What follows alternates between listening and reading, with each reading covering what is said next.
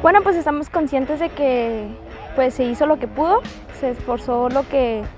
lo que se tenía que esforzar, no se dio los resultados lamentablemente, pero seguimos trabajando. Muy bien, la verdad que satisfecha, este, creo que estoy trabajando de la manera correcta, todavía me falta, claro, este, para juntar más minutos, pero seguimos trabajando también. Pues estamos, estamos trabajando bien, estamos trabajando fuerte, ahorita pues ahorita en la recuperación de las chavas que jugaron ayer, pero igual seguimos trabajando para para recuperar y pues seguir entrenando porque pues sí se viene una semana fuerte, pero igual estamos conscientes de que, de que viene fuerte y que vamos a salir adelante.